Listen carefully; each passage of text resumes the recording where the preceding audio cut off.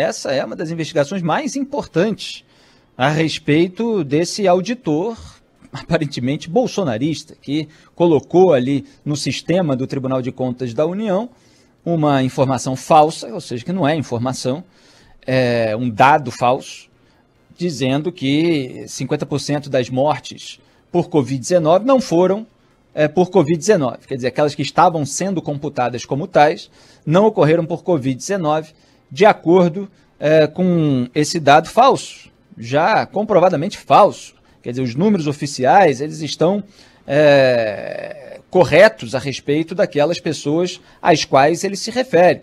Elas morreram de Covid-19. Mas isso foi usado pelo presidente Jair Bolsonaro logo no dia seguinte para espalhar essa fake news que é disparada aí nas redes bolsonaristas, no WhatsApp, para o tiozão e para a tiazona que depois nem veem a refutação. E muita gente acredita, e começa toda essa teoria da conspiração, a verdade por trás, o objetivo por trás, isso a, a mídia não mostra e tal, tudo aquilo que faz parte dessa é, corrente é, né, de estupidez que o bolsonarismo alimenta nas redes sociais com todo o uso desse aparato e com militantes virtuais muitas vezes lotados em gabinete, como eu venho mostrando no meu trabalho, e a Polícia Federal e as plataformas como o Facebook comprovaram nas suas próprias investigações. Então é preciso é, ver aí o, o, a cronologia dos fatos, como isso aconteceu e a responsabilização diante de tamanha gravidade. Agora, voltando aqui para a questão central é, do depoimento de hoje do Marcelo Campelo, ex-secretário lá é, do Amazonas é, na CPI da Covid é o seguinte: primeiro, tem um caso que gerou até embate entre a base governista é, do Bolsonaro e os demais senadores, que é o seguinte: o Eduardo Pazuello, que foi o terceiro ministro da Saúde do governo Bolsonaro, general, ele havia dito que no dia 7 de janeiro à noite, ele, se referindo ali ao secretário é, lá é, do Amazonas, não me falou nada de colapso de oxigênio foi a solicitação de transporte, a logística de Belém para Manaus, que foi feita no dia 8 e 10. Então, o que o Pazuello alegou foi que a ligação telefonema feito no dia 7 tratava apenas de um apoio logístico para trazer é, o material da empresa White Martins. É, o secretário ele confirmou é, que fez essa ligação no dia 7. É, e depois foi muito questionado a respeito disso. Inicialmente houve ali uma percepção de que é, ele contradisse o Eduardo Pazuello, porque o Pazuello disse que não foi citado oxigênio, mas na verdade é um apoio logístico para oxigênio. É, então ficou uma grande discussão a respeito de é, se o Ministério da Saúde havia sido provocado a fornecer ajuda em relação ao oxigênio ou apenas no apoio logístico para a entrega feita pela White Martins. Então ficou muito embaçada essa questão, mas logo em seguida o que se é, respondeu foi que houve ofícios enviados ao Ministério da Saúde quando se percebeu a carência de oxigênio e esses ofícios acabaram não sendo respondidos. E aí houve a grande tragédia lá com a perda de dezenas de vidas por falta de oxigênio.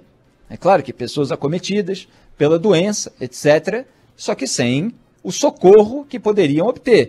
É uma situação similar ao que eu sempre falo aqui a respeito da vacina.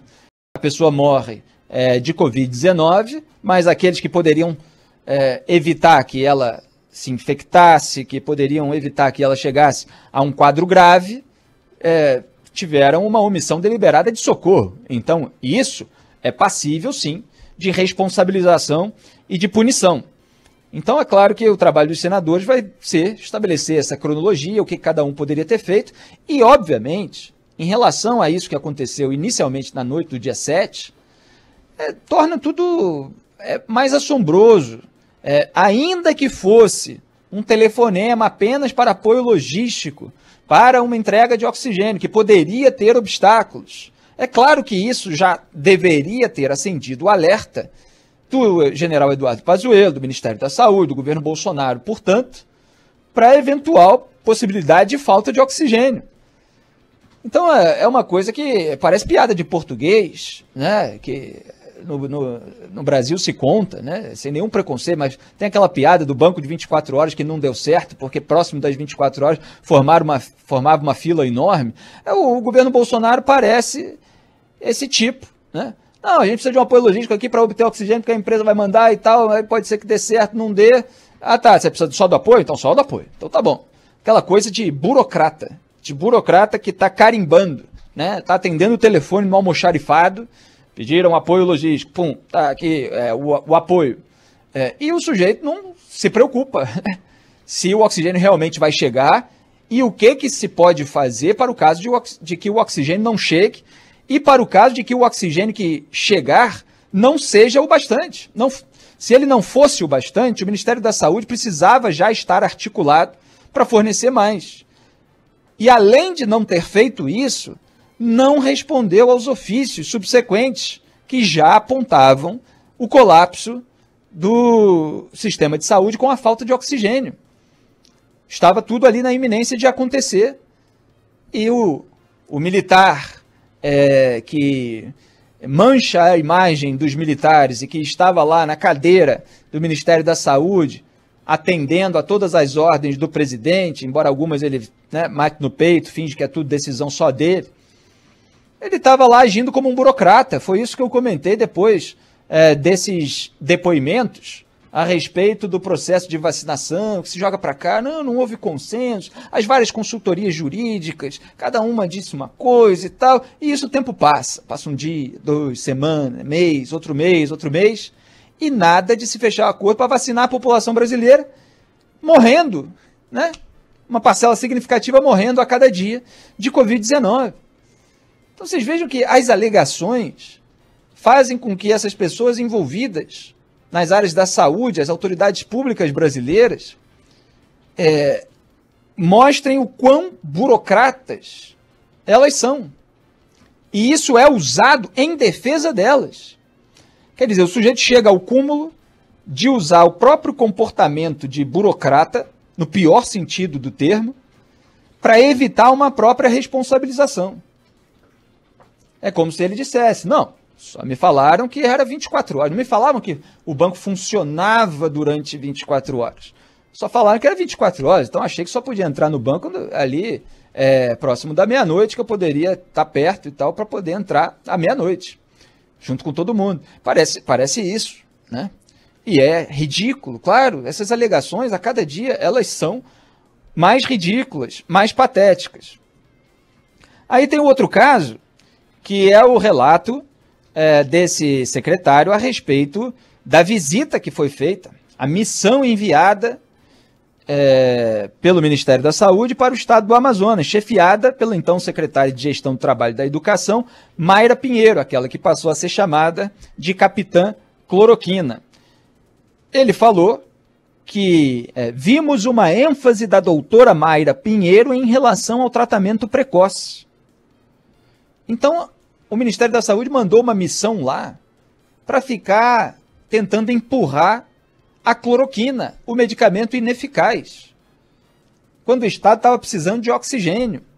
Quando o Estado estava precisando, obviamente, é, em, em, médio e longo prazo, há muito tempo, é, de vacina. É claro que tinha uma situação urgente ali para resolver, mas essas são, as, são, são os elementos que estão em jogo durante a pandemia enquanto que o governo Bolsonaro está lá fazendo missão para escoar a, a, produção que ele alimentou de um medicamento ineficaz, descartado no mundo inteiro, descartado até pelo Donald Trump, que estava no poder, e o Bolsonaro emulava em seus piores aspectos. Porque até o Trump fez algumas coisas que Jair Bolsonaro não fez aqui no Brasil, mas esse é outro assunto do qual já falei, já escrevi a respeito em muitos artigos. Essa capitã cloroquina, só um parênteses aqui, ela está sendo ironizada nas redes sociais porque, de repente, não mais que de repente, como dizia o verso Vinícius de Moraes, ela, ela celebrou a vacinação e ela posou lá junto ao seu cartão de vacinação, aquele sobre o qual Jair Bolsonaro decretou sigilo, né? aquele dele. Mas ela mostrou o dela, sem sigilo, para mostrar que estava sendo vacinada.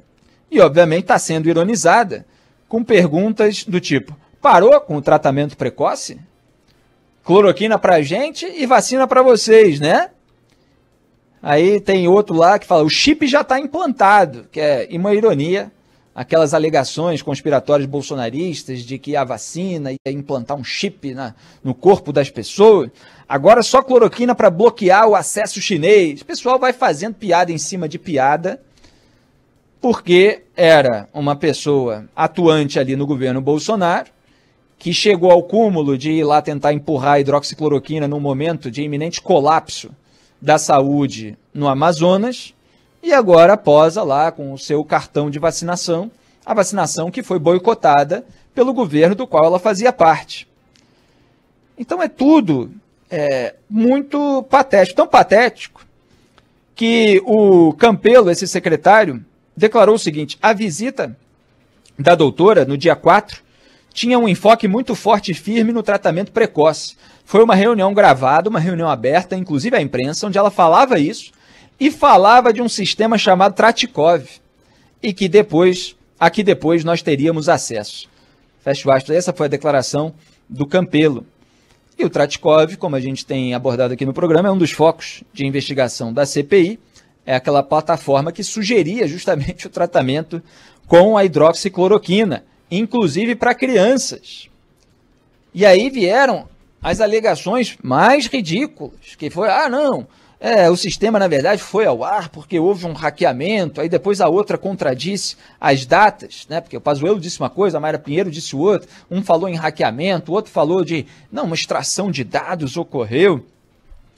Tudo para tentar mascarar o fato de que o governo estava empurrando hidroxicloroquina, não só no estado de Amazonas, mas virtualmente para todo o Brasil por meio de um aplicativo. Em que a pessoa preenchia lá quais eram os sintomas e tal, o Fábio sabe falar melhor do que eu, porque até entrou, e a receita, a recomendação para um monte de casos era um medicamento ineficaz, como se isso fosse uma panaceia para resolver a pandemia. Você quer lembrar, Fábio? Sim, os meus sintomas, quando eu preenchi lá, né? Claro, criei um, um, um paciente fictício. Os meus sintomas eram fadiga e quase nada de fadiga e congestão nasal. E ali em um campo eu disse que tive contato com alguém que testou positivo para Covid na mesma semana, mas é, ele não pede para especificar o grau desse contato. Só olhei para a pessoa, cumprimentei a pessoa, não tive um contato no trabalho e só. E aí o meu receituário foi gigante, né? Cloroquina, hidroxicloroquina, ivermectina, zinco, tudo que você pode imaginar. Só com congestão nasal. Pois é, quer dizer, qualquer cidadão coloca lá os sintomas que ele está sentindo e recebe uma recomendação que pode resultar, inclusive, numa automedicação. E o Bolsonaro, ele, ele estimulava isso, por mais que ele diga o contrário, quando um presidente da República, a autoridade máxima do Poder Executivo, fica brandindo uma embalagem de um medicamento ineficaz, o que, é que o cidadão, principalmente quando é pouco instruído e quando cultua uma personalidade de político, que é uma tremenda cafonice, eu sempre falo a respeito disso, ele, ele acha que aquilo, aquele remédio está sendo recomendado. Então que ele pode comprar e tomar o remédio. Né? É o péssimo exemplo do presidente. Esse exemplo que agrava e prolonga a pandemia no Brasil e depois ele fica explorando o cansaço das pessoas com os incômodos pelos quais elas precisam passar em boa parte por culpa dele, ele explora para atacar aqueles que estão recomendando cuidados, que estão é, impondo restrições, etc. Essa é a tática perversa do bolsonarismo. Aliás, falando nisso, antes que eu esqueça, é, o governador de São Paulo, João Dória, é, depois daquele episódio, uma tremenda burrice, como eu comentei aqui, que a gente comenta tudo, a burrice dele de passar o fim de semana no hotel de luxo ali na praia de Copacabana, aqui no Rio de Janeiro, e ser fotografado ali sem máscara, numa espreguiçadeira, na piscina e tal. É claro que não está lá todo dia, sem máscara, causando aglomeração, estava num momento de lazer, numa piscina e tal, mas é óbvio que pega mal. É óbvio que é um mau exemplo o governador que está lá impondo restrições, viajar e ter esse momento público de lazer e tal. Uma burrice tremenda, né? mas parece que está tendo momentos melhores de marketing na rede social, porque deu talvez a melhor resposta que ele já, já deu ao presidente da República nessa polarização. entre eles, né? Já era tempo de aprender, né, Dória? É, ele, o Bolsonaro é, gerou uma manchete. Bolsonaro sugere que Dória faça uma motociata, que é aquele passeio de moto que o Bolsonaro fez no domingo. E aí o Dória publicou lá, Capitão Cloroquina, se referindo ao Bolsonaro. Depois que terminarmos nossa vacinata, fez uma ironia, transformou ali a, a, o término da palavra motociata, colocou né, é, junto com vacina, né, se referindo à vacinação, portanto, é uma mobilização pelas vacinas. Então, depois que terminarmos nossa vacinata e salvarmos vidas, a gente pensa em descer para o play para brincar, brincar com vocês. Abraços. E ainda complementou no tweet seguinte, quinta série mode on. Né? É, é, quinta série, aí é, é o, o, o Jair Bolsonaro representando a quinta série. Né? Esse nível quinta série está ativado no bolsonarismo. E é assim que se trata um presidente que atua, se comporta como um moleque mimado. Um moleque no pior sentido, daquela, daquela, daquele lado capeta, inconsequente, né, que muitas vezes é perdoado, muitas vezes se tem uma condescendência quando a pessoa é de uma idade é, ainda muito baixa, uma criança, um adolescente e tal, mas que depois se torna é, absolutamente ridículo ou é, eventualmente até criminoso quando o sujeito é um adulto. E o Bolsonaro fica sempre abusando desses limites a ponto de estar tá aí é, alvo de uma CPI da Covid, ainda que não esteja lá é, para depor, mas que uma comissão que tem o poder de indiciá-lo, uma comissão que pode eventualmente apontar é, crimes de responsabilidade do presidente da República. É, então, todo esse contexto, é, Capitã Cloroquina, Capitão Cloroquina, General Eduardo Pazuello, com essa postura de burocrata. Então, de um lado, um, um moleque capetinha é, mimado, passeando lá com a turma para a qual ele deu uma isenção que vai pesar no bolso dos outros motoristas do outro lá o burocrata dando umas alegações. Não, você não falou a respeito disso. Você falou a respeito daquilo. Aí aquilo eu forneci e tal. Mas mesmo assim chegou o ofício depois, o cara não fez nada. E do outro você tem a capitã cloroquina, que é, prega um medicamento ineficaz é, para as pessoas e está lá agora se vacinando e posando com o seu cartão. Quer dizer, é, é, é, é um conjunto de insultos à inteligência da população.